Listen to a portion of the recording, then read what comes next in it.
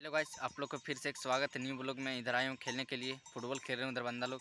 और मैं एक खास बत, बताने के लिए जा रहा हूँ जो यूट्यूब के लिए है।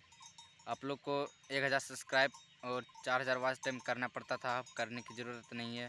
सिर्फ़ आप आप लोग को नब्बे दिन में एक हज़ार सब्सक्राइब और वन मिलियन व्यूज़ करना है।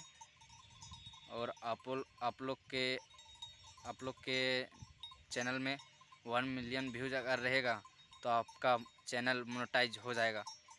यही खास बात था, खास बात था जो आप लोग के लिए और सिर्फ़ नब्बे दिन में आप लोग को करना है और सब्सक्राइब जल्द कर लेना।